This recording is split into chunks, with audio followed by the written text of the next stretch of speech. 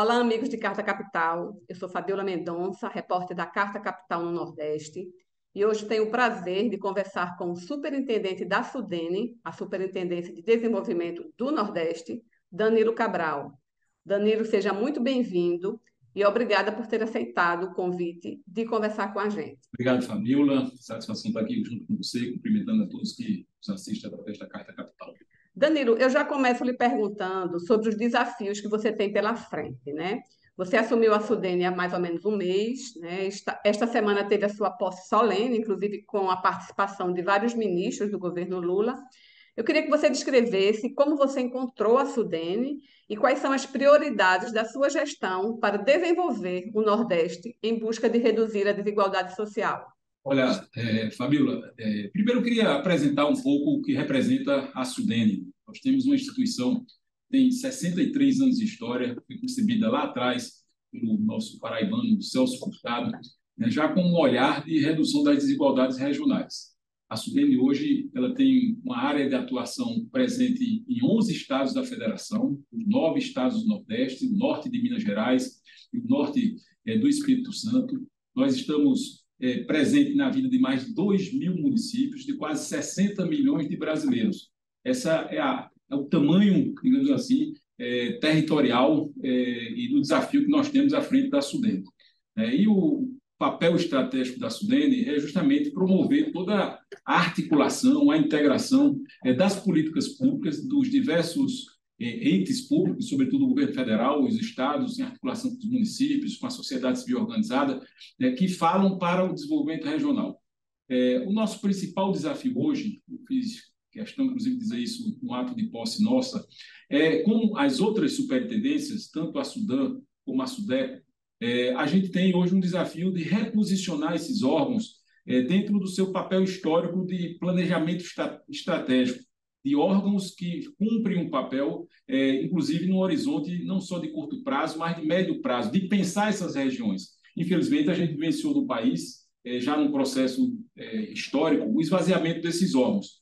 E no Nordeste, nós tivemos um aprofundamento ainda maior desse esvaziamento, é, sobretudo nos últimos quatro anos, na relação muito difícil que nós tivemos né, do então presidente Bolsonaro com a região Nordeste. Todo mundo acompanhou né, o Bolsonaro praticamente tratou a região como um inimigo, né, talvez em função talvez do tamanho do resultado eleitoral que o presidente Lula sempre teve aqui, o Nordeste foi tratado como adversário.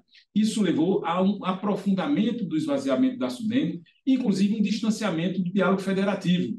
Né. O próprio consórcio de governadores do Nordeste ele foi consolidado a partir desse distanciamento. Então, o primeiro desafio que eu digo que a gente tem aqui é um desafio de natureza política, é devolver a Sudene, é, reposicionar a Sudene né, como um, um, ator estratégico, um protagonista deste diálogo. É esse o papel que ela cumpria lá atrás e o papel que ela foi esvaziada no governo Bolsonaro. Então, para isso, nós estamos é, promovendo já é, uma abertura da instituição. De forma objetiva, nós queremos é, abrir a Sudene para todos os atores políticos, governadores, os prefeitos, a, o setor produtivo, os trabalhadores, a academia, aqueles que fazem a ciência, né, para que a gente se reconecte com o Nordeste né, e o Nordeste possa, nesse momento, é, aproveitar uma nova janela de oportunidade que a gente vê a partir da eleição do presidente Lula. É, você falou aí é, do esvaziamento da Sudene, né? Ao longo dos anos, falou do governo Bolsonaro, mas não foi de agora, né? Esse esvaziamento já vem tanto tempo, inclusive chegou a ser extinta, a Sudene, a Sudene como a Sudã e a Sudeco, foram extintas no governo Fernando Henrique Cardoso. Eu queria que você falasse um pouco qual é o compromisso que o governo federal está é, tá assumindo com, com a Sudene e as demais superintendências, é, o, o montante de recursos que está previsto para a Sudene para investir no Nordeste. Muito boa essa sua lembrança, ela foi extinta lá atrás, dentro daquele modelo é, neoliberal, é, que foi o modelo implantado né, pelo então presidente Fernando Henrique Cardoso, que esvaziou muitos órgãos estratégicos do Estado brasileiro e a Sudene, como as outras superintendências, fizeram parte daquele, daquela extinção. Depois nós fomos recriados como uma agência e depois a própria Sudene foi reposicionada. É, hoje a gente tem aqui é, um orçamento da ordem de quase 40 bilhões de reais, esse é o montante de recursos que nós temos nos fundos constitucionais, é, bem como de incentivos fiscais, que estão sendo aplicados anualmente no Nordeste brasileiro. São recursos que fazem com que a gente possa, é, a partir desses incentivos, é, atrair investimentos aqui para a nossa região. É, só para te dar um dado, é, por exemplo, só do FDNE, de 2017 a 2023, foram 14 bilhões de reais que geraram 80 mil empregos. Para este ano, do Fundo Constitucional, que a gente chama o Fundo é, o FNE, nós temos 38 bilhões de reais. Isso é executado em parcerias, sobretudo a partir da ação né, com o Banco do Nordeste. E a gente tem um compromisso político, voltando à primeira parte da tua pergunta, que eu acho que é o mais importante. Primeiro, a figura do presidente Lula, é muito simbólica nessa reconexão do Nordeste com o Brasil. Eu queria relembrar que no primeiro mandato do presidente Lula, de 2002 até 2020, ali no primeira, na virada desse século, o Nordeste cresceu mais do que o Brasil. O PIB do Nordeste, nos primeiros 20 anos, cresceu 53% contra 46% da média do Brasil. Naquele momento, sob a gestão do presidente Lula, a gente viu o Nordeste iniciar um novo ciclo, a industrialização chegou ao Nordeste. A gente tem um exemplo disso aqui em Pernambuco. A gente viu a chegada da, da educação ao interior, né, com universidades, as escolas técnicas chegando. A gente viu a proteção social. Né, a gente viu um conjunto de investimentos que foram feitos aqui, naquele momento lá atrás, que fizeram o Nordeste crescer daquele jeito. Então, a volta do presidente Lula significa esse novo ambiente do ponto de vista político, a gente tem um ambiente para que a gente possa dar um novo salto de qualidade. E, além disso, Fabiola, é, a gente tem também é, um conjunto de situações que são importantes, fruto da imposição da agenda que a gente tem hoje no mundo. A principal dela, eu digo, que é a questão da sustentabilidade ambiental. O mundo está discutindo isso, né? o respeito ao meio ambiente e a sustentabilidade ambiental. E o Nordeste, que lá atrás tinha o clima né, como um fator de adversidade, né, a dureza do nosso semiárido, é, o bioma que a gente tinha um fator de adversidade. Nessa imposição dessa agenda nova, a gente tem janelas de oportunidades que já estão se materializando no Nordeste. A energia limpa é uma delas que já é realidade no Nordeste. 83% de tudo que é produzido energia limpa no Brasil hoje está aqui na região Nordeste, eólica e solar. E a gente tem ainda o hidrogênio verde, né, que é um fator aí que também vai agregar mais é, desenvolvimento ao Nordeste. Sem falar do próprio bioma da Caatinga, que é um bioma único, presente no semiárido aqui do Nordeste brasileiro e que hoje, pela sua biodiversidade, também se representa uma grande janela de oportunidade. Ou seja, nós temos um ambiente político completamente diferente, né? ou seja, retomando aquilo que a gente venceu no início desse século, e um conjunto de variáveis novas que mostram que a gente tem um potencial de novamente voltar a crescer mais do que o Brasil e reduzir as desigualdades, que é esse o grande papel que a Sudene uhum. tem. Você falou das desigualdades, a gente lembra que o Nordeste não é de hoje, né, que é uma das regiões mais pobres do país e ainda enfrenta graves problemas climáticos, né? Ora com a seca, ora com as enchentes, e a gente está vivendo nesse momento. Né? Alagoas, por exemplo, está numa situação bem difícil com as enchentes. Semana passada, Pernambuco também teve fortes chuvas. Eu queria saber qual é o papel da Sudene né, para ajudar esses estados em situações como essa, né? seja com enchentes, seja com estiagem longa e secas, como a Sudene vai contribuir nesse processo? Olha, é, primeiro, quando a gente fala da questão da sustentabilidade ambiental, é, tudo isso que a gente está vivenciando, não só no Nordeste, como também no Sul do país, é, os chamados eventos extremos, que é o que representa a consequência da agressão né, que o homem está fazendo à natureza.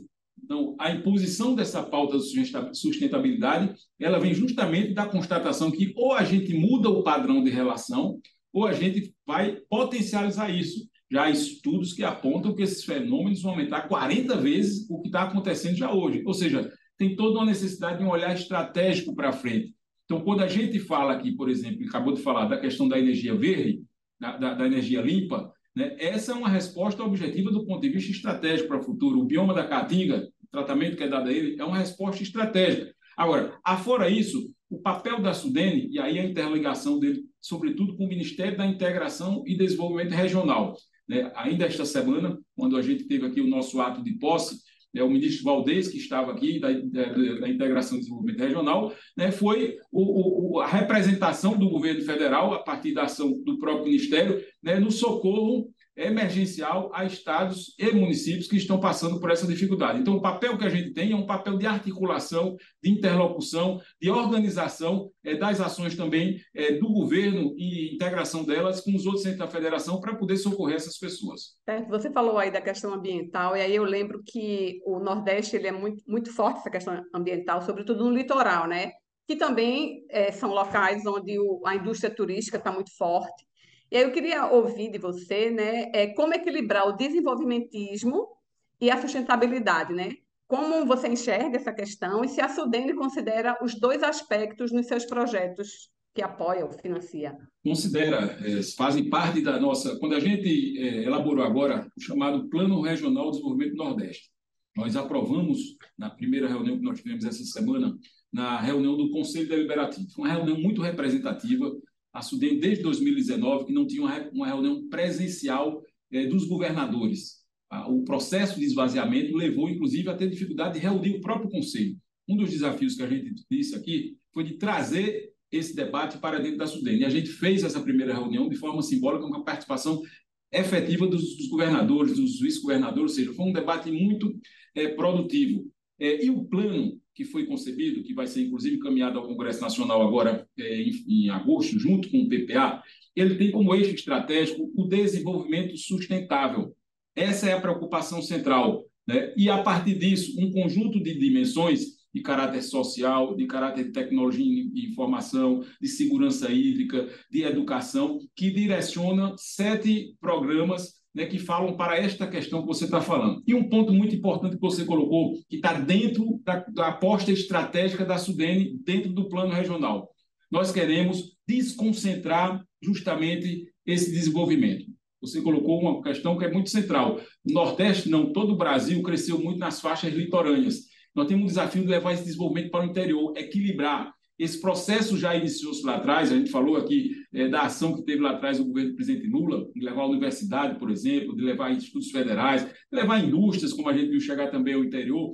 O que nós queremos fazer, isso foi com base em estudos estatísticos, com dados do IBGE, com um conjunto de variáveis que fazem parte, nós identificamos 52 áreas nos 11 estados do Nordeste brasileiro, que são o que a gente chama de cidades policêntricas são cidades que estão tomando um tamanho e criando uma dimensão que o desenvolvimento dela está transbordando para, para os municípios da região. Aqui em Pernambuco, por exemplo, nós temos quatro. Né? A gente tem Recife, a gente tem Caruaru, a gente tem Serra Talhada, a gente tem é, é, Petrolina.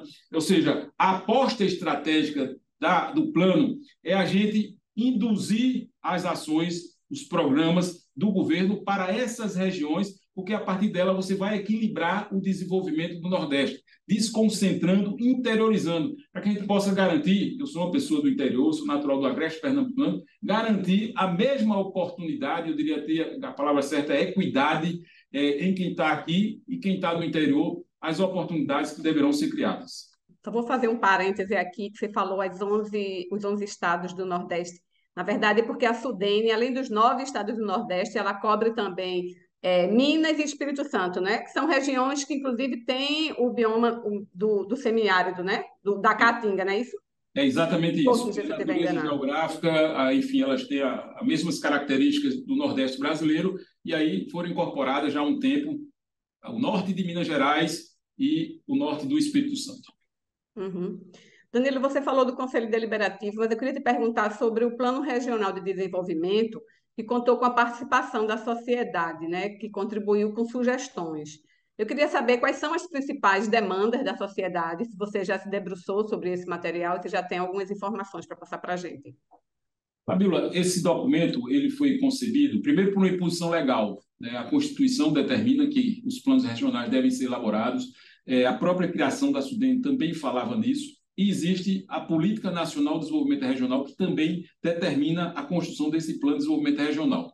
Esse plano, ele, ele por determinação legal, ele precisa ser é, encaminhado junto com o plano plurianual que o governo federal né, joga no Congresso Nacional as diretrizes para os próximos quatro anos. Então, cada região pensa a sua necessidade, coloca no plano do governo federal, isso vai para o Congresso é, Nacional. Ele foi concebido num processo histórico, tomando como base um documento que já vinha lá de 2019, Aí a gente fez uma atualização, porque tivemos no meio desse caminho a pandemia, né, e construímos um novo documento que traz lá toda uma visão estratégica, a visão que nós queremos do Nordeste no futuro, um Nordeste que seja é, inovador. A inovação é um eixo central do programa, né? precisa incorporar a inovação, tendo em vista até o, a transformação digital que vive, é, vive o mundo, né? que ele seja justo, que ele seja próspero, que ele trate a diversidade cultural, que ele trate os biomas, né? que ele procure valorizar a nossa cultura, o nosso povo, as instituições. É esse o foco e o eixo estratégico dele. E a partir disso, desce eixos, diretrizes, programas e projetos. Como é que foram construídos esses projetos? Que eu acho que é a questão principal disso aí. A gente fez uma consulta com todos os estados do Nordeste, os 11, né, para que cada estado pudesse apontar o que, é que ele acha que é importante para o seu estado no horizonte de quatro anos. Essas contribuições foram feitas, né, foram encaminhadas e elas vão fazer parte de uma carteira de projetos que será anexada ao plano e vai ser encaminhada ao governo federal, e a partir disso ele vai compatibilizar isso em função dos instrumentos que o governo também está colocando como diretrizes para ele. Ou seja, nós vamos ter, por exemplo, agora o plano de investimento do governo, o novo PAC, digamos assim, tem quase 70 bilhões de reais no novo PAC que vai estar lá. Lá vai estar contemplando ações aqui para o Nordeste.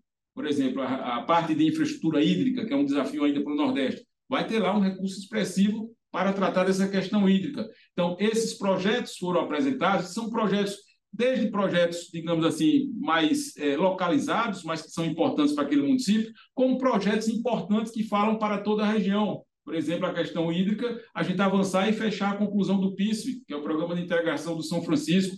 Nós temos o desafio da Transnordestina, que é um desafio importante que a gente precisa discutir em relação aqui à questão do Nordeste. São obras estruturantes né, integradoras de toda a região que vão fazer parte deste debate.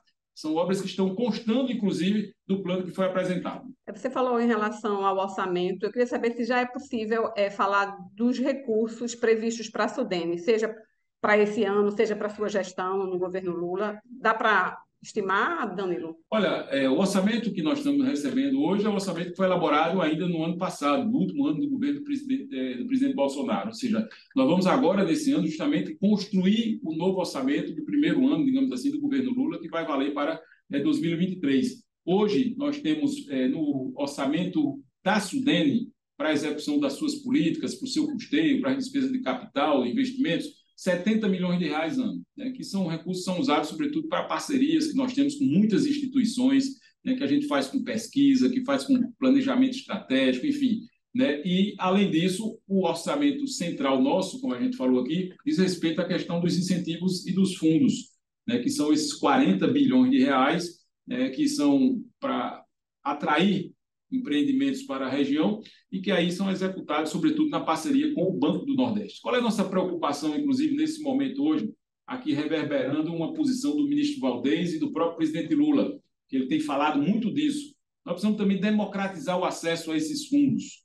Né? A gente vê muitas vezes que a, os, os, o acesso a, a, e o Nordeste tem uma diferença, tá, em relação até à própria Sudão e à própria Sudeco, né, porque aqui a gente tem um programa de agricultura familiar muito forte, que é desenvolvido também pelo Banco do Nordeste, mas a disposição do governo federal, do presidente Lula e do Michel Valdez, é que a gente, se, se possível, amplie o acesso do micro é, e do pequeno é, empreendedor a esses fundos, para que a gente gere mais capilaridade na economia. Esses pequenos é que movimentam a economia lá na ponta, o comércio, né, que movimentam as feiras, que geram, às vezes, os pequenos empregos, que quando você soma, é, dá uma, uma parcela expressiva da economia. Essa é orientação que também a gente está adotando aqui.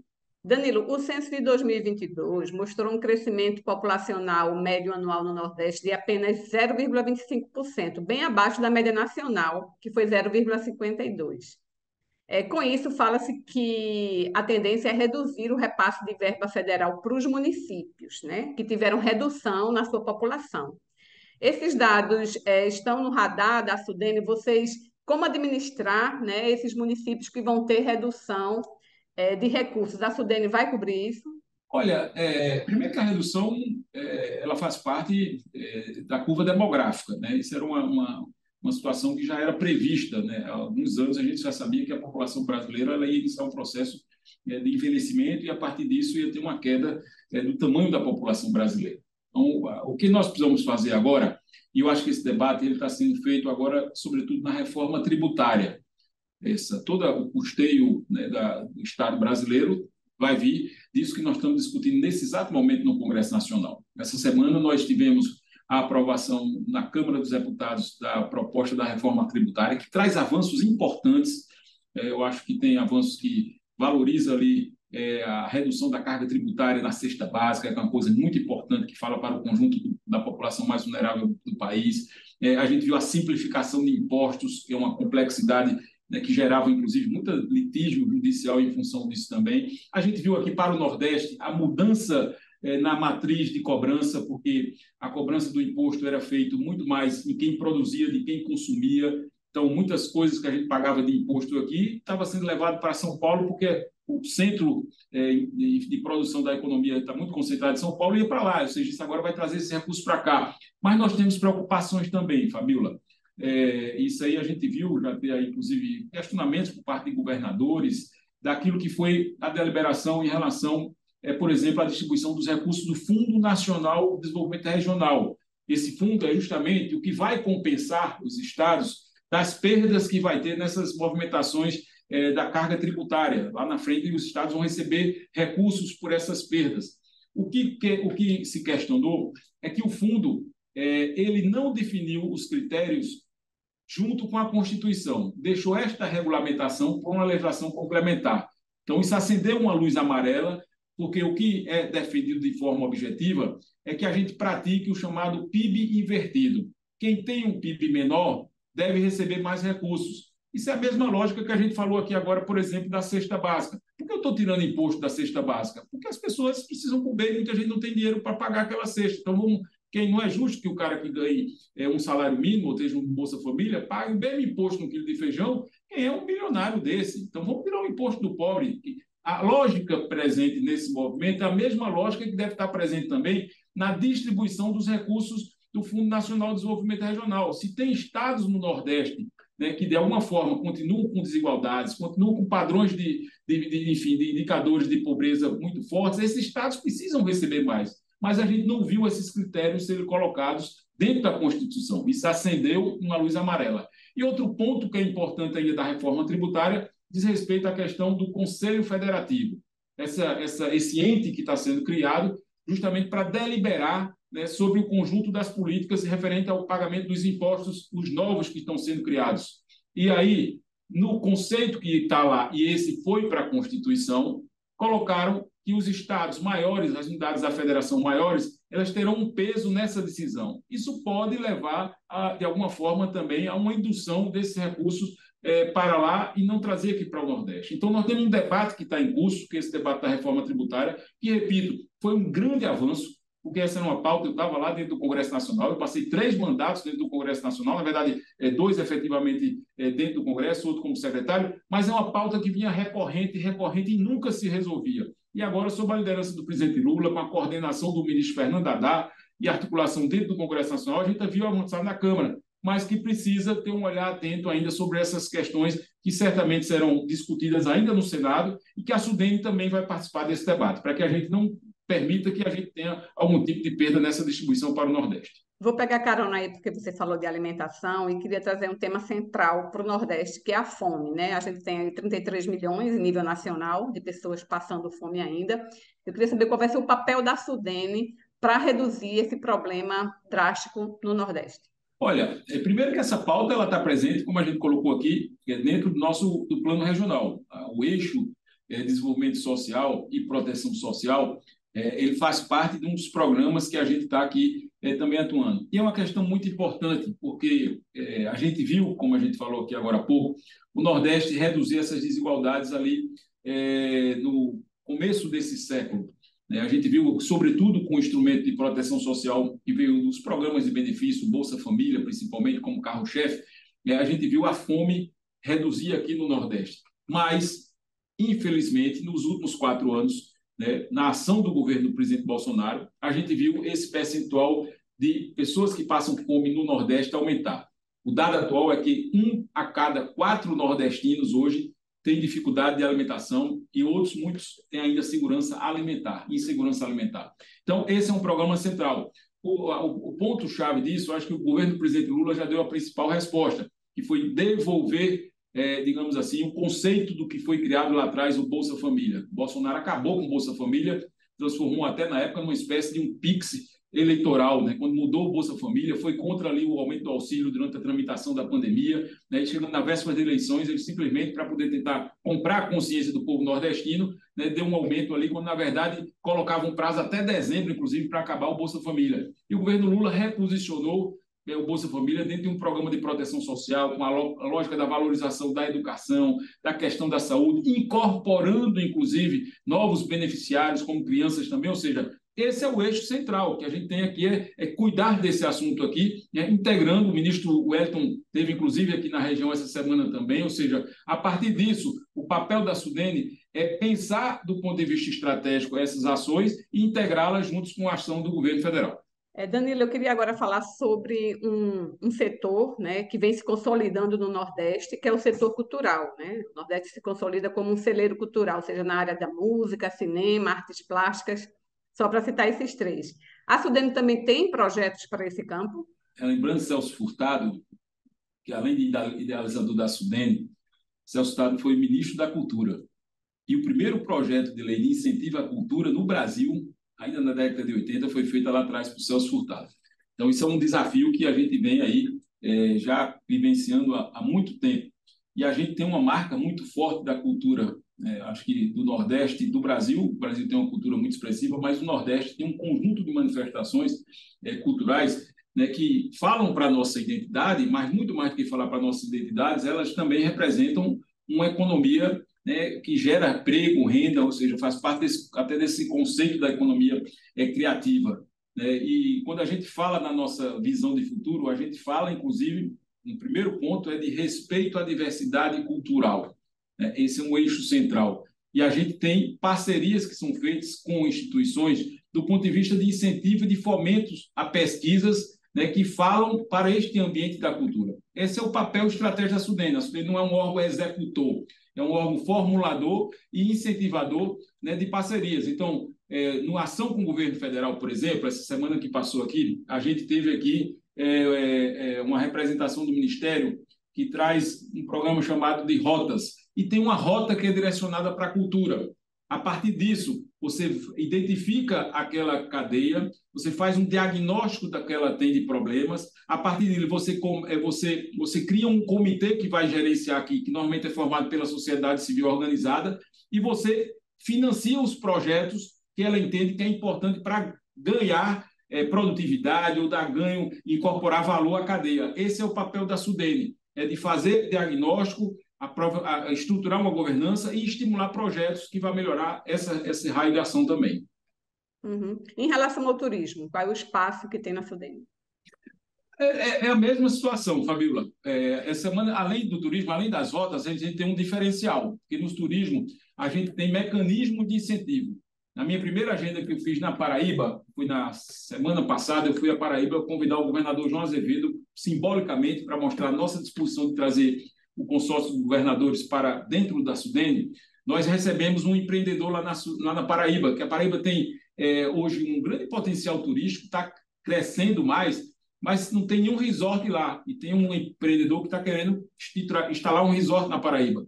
E a partir disso, qual é o nosso papel? É através dos nossos mecanismos que nós temos de incentivos fiscais ou de fundos, incentivar ele para que ele possa buscar recursos para fazer esse empreendimento. A gente tem é, quatro empreendimentos na Paraíba, mas nenhum deles com incentivos da Sudene. Nós fomos, inclusive, lá estimular para que isso possa ser estruturado, porque o turismo é, ele é uma cadeia produtiva muito democrática.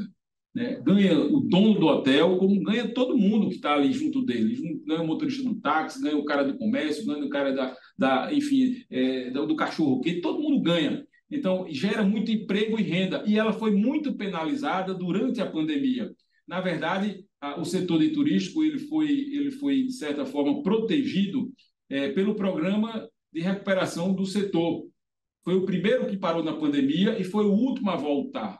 E a gente aprovou, eu estava lá ainda como deputado federal, um programa de desoneração para poder permanecer com o curso, porque muitos hotéis fecharam, pousadas fecharam, e agora elas estão em processo de reabrindo. A gente viu, inclusive, hoje que o Brasil voltou a receber, está batendo recorde de turismo. Né? Nosso presidente da Embratur, Marcelo Freixo, nosso fraterno amigo Marcelo Freixo, né? já conseguiu, em quatro meses desse ano, chegar a 75% do que foi todo o movimento de turismo do ano passado. Ou seja, há uma movimentação da economia também, né, de reativação desse segmento que a gente precisa induzir estimular. É trazer mais empreendimentos para o Nordeste também, novos hotéis, novas pousadas, e para isso a gente tem incentivos fiscais também. Danilo, para concluir esse tema da Sudene, eu queria lhe ouvir sobre a diretoria de gestão de fundos, incentivos e de atração de investimentos da Sudene, que é ocupada por um seguidor de Olavo de Carvalho, ligado à extrema-direita, que chegou a sugerir, quando deputado, a criação de uma secretaria de desesquerdização da administração pública e sugeriu também que o livro do torturador Brilhante Ustra fosse adotado pelas escolas. Como é trabalhar com assessor com esse perfil num governo de esquerda e você que, que tem né, uma tradição no Partido Progressista? Olha, eh, nós estamos aqui montando uma equipe e com um olhar para o futuro. Né? Nós estamos aqui tentando organizar justamente esse conjunto de desafios que a gente tem aqui. É, o que foi colocado aí, o próprio Heitor, que é o diretor lá, ele já se reposicionou, digamos, em torno desse assunto. Esse assunto foi tratado pelas instâncias do próprio governo, né, pela própria Casa Civil, ou seja, há um entendimento que foi firmado em torno disso. Né, e o que aqui agora a gente precisa é construir esse caminho para frente. Nós estamos olhando para frente né, com a certeza de que nada de nenhum desse valor, que nós também temos críticas, ele estará presente aqui na nossa gestão à frente da Sudene. Já caminhando para o final, eu queria falar um pouco de política, né? Eu queria começar perguntando a sua avaliação dos seis meses do governo Lula. Lula, é, seis meses do governo Lula, a gente já sente de forma muito clara né, que o Brasil é, promoveu uma série de reencontros. O primeiro é o reencontro com a democracia. Vivenciamos aí um período muito difícil no ano passado. Né? A gente viu o 8 de janeiro foi um símbolo disso, ainda este ano, um atentado claro, objetivo contra a democracia. E tudo que a gente defendeu lá atrás era justamente a preservação desse direito. A gente está fazendo até esse diálogo aqui, que representa a democracia. Então, esse é o primeiro reencontro, a consolidação da democracia brasileira. A segunda, eu diria que é um reencontro do Brasil com os brasileiros. Já tem aí um conjunto de ações que foram desenvolvidas pelos seis meses que estamos concluindo aí no governo do presidente Lula, que apontam isso de forma muito clara o conjunto de ações que a gente vê em todas as áreas das políticas públicas. A gente falou aqui do Bolsa Família, a gente podia falar do aumento da merenda, a gente podia falar do, da, da, volta das pesquisas, do apoio às bolsas, da sustentabilidade ambiental, enfim, é, de tantas coisas que aí do Mais Médicos, que voltou novamente, um conjunto de políticas que havia sido desmontada pelo Bolsonaro e que o governo do presidente Lula agora é, recompôs isso. Mas olhando para frente, a gente vê avanços também institucionais o Brasil voltou a ser respeitado. Essa agenda internacional que o presidente cumpriu aí é um reencontro também do Brasil com o mundo. O diálogo que ele fez com muitos chefes de Estado, chefes de governo, com o próprio Papa, ou seja, é um simbolismo que o mundo está voltando a confiar no Brasil. O setor produtivo internacional volta novamente a olhar para o Brasil como uma janela de oportunidade. E o que nós estamos fazendo nesse momento é criando as condições para que a gente possa atrair mais a própria reforma, o conjunto de reformas que o governo vem tocando, o arcabouço fiscal que foi aprovado, que é um avanço importante. Eu me recordo que a gente fazia muita crítica, eu combati muito a PEC do teto dos gastos, né, que tanto mal causou ao povo brasileiro, que tirou tantos recursos, tantas políticas públicas, e nós construímos um modelo de equilíbrio fiscal, né, onde a gente pode preservar esse equilíbrio como um valor que nós defendemos também, mas dando a oportunidade de a gente fazer um Estado que faça os investimentos necessários, está aí, aprovado a própria reforma tributária que a gente falou, ou seja, tem um ambiente de segurança institucional hoje no país, de diálogo federativo, conversando com governadores, conversando com prefeitos, de diálogo com, a, com, a, com os poderes, com o próprio legislativo, com o judiciário. O Brasil restabeleceu a normalidade democrática. Eu acho que essa é a principal percepção. E, ou seja, nós estamos já construindo de forma objetiva as bases para que o Brasil possa novamente voltar a ter um novo ciclo de desenvolvimento. Em relação a Pernambuco, não vou perguntar sobre os outros estados, porque a sua base política é Pernambuco. Qual é a avaliação que você faz do governo Raquel Lira nesses seis meses de gestão? Eu, eu, tenho até é, procurado me preservar é, em torno dessa avaliação. Até a, a, a, o fato de estar subindo a Sudene também é, nos dá uma certa, é, como é que eu posso dizer, uma certa cautela na avaliação, né, porque eu acho que a gente tem que, nesse momento, é, procurar preservar o meu papel aqui é construir uma unidade em torno da atuação que a gente vai fazer. Eu vim para cá com o compromisso de abrir as portas da Sudene e procurar unir Pernambuco, sabendo que cada um e cada uma tem diferenças, que são naturais e legítimas e que bom que nós as, as tenhamos, é mais que a gente tem que, nesse momento, é construir um grande consenso para que a gente possa ver quais são as pautas de interesse, não só de Pernambuco, mas também, e sobretudo de Pernambuco, mas também do Nordeste brasileiro. Então, eu tenho considerações a fazer em torno do governo Raquel, né, poderia fazê-las, mas eu gostaria até de preservar isso nesse momento, porque acho que o papel institucional me permite que a gente faça, enfim, uma certa ponderação em torno disso. É, mas, é, só para ficar num ponto especificamente, né, que é um ponto que eu tenho um, um carinho muito grande, que é muito caro à minha trajetória também, que é a pauta da educação. A gente vê uma, uma inquietação muito grande no ambiente da educação, isso me me causa uma certa preocupação. A gente viu como foi difícil tirar Pernambuco dos últimos lugares que a gente tinha indicadores do IDEB lá atrás, em 2006, e colocar Pernambuco no topo da melhor educação pública do ensino médio do país e os avanços que a gente teve nos demais. E a gente vê agora que a educação está vivendo num ambiente meio conturbado, né, que me preocupa que a gente não, não faça um retrocesso nesse movimento no ambiente da educação. Agora, para finalizar, Danilo, é, sobre o PSB, que é seu partido, né? como é que ele está se reposicionando aí, depois que perdeu a eleição no Estado? O ano que vem tem eleições municipais. Como é que o PSB está vindo aí para essa disputa de 2024, sobretudo no Recife, né? que tem o prefeito do PSB, João Campos? Olha, é, bom, o partido está montando suas estratégias para o ano é, que vem. Né? Já teve um conjunto de, de encontros, aí tem um grupo que está aí dentro do partido formulando essa estratégia também. Né? Tem situações que são claramente é, fundamentais importantes para o PSB. Essa eleição aqui do Recife é uma eleição é importante, a eleição, reeleição, na verdade, de João, né? que vem fazendo aí, cumprindo o seu papel. É, eu acho é que o partido, nesse momento, e aí falando um pouco da questão nacional, é, que diz respeito também ao PSB, é, eu, eu fico com uma certa preocupação é, muitas vezes com alguns movimentos que o partido fez recentemente, né, que de alguma forma é, podem tirar o partido do eixo central, que eu acho que deve ser o eixo do PSB. É, nós somos um partido de esquerda, essa é a formação do partido, é, nós temos 70 anos de história, nós temos a defesa de todo esse conjunto de valores né, que estão aí hoje representados no governo do presidente Lula. Nós fazemos parte do núcleo programático né, que chegou junto desse governo eu vi, por exemplo, o partido fazer um movimento dentro do Congresso Nacional é, de incorporação a um bloco que, na minha leitura, ele não guarda a identidade do PSB. Eu acho que a gente precisa reposicionar o PSB nesse bloco, trazer o PSB para o bloco que nós temos mais identidade, que é esse bloco do campo mais à esquerda, com o PT, com o PCdoB, enfim, com esse time que foi o time que é, fez a liga, digamos assim, é, mais consistente na defesa do governo do presidente Lula. Então, essa é a consideração que eu tenho em relação ao partido. Ok, Danilo, muito obrigada pela entrevista. Boa sorte aí na sua gestão é, diante da Sudene e até a próxima. Obrigado, Fabíola. Satisfação com vocês.